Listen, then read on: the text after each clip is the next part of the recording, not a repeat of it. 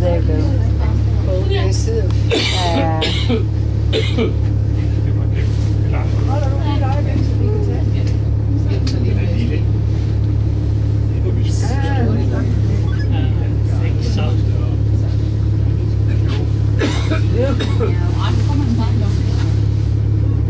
Som vi kan se, så er det ikke helt ude i øjeblikket. Øh, det er en lille smule kold i, øh, skæret her om øh, vores sommer.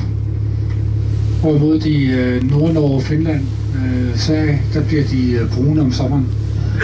This one is not totally white. Uh, you get a little bit grayish here during our summer, but in uh, the northern Scandinavian countries they get uh, brown in the summer.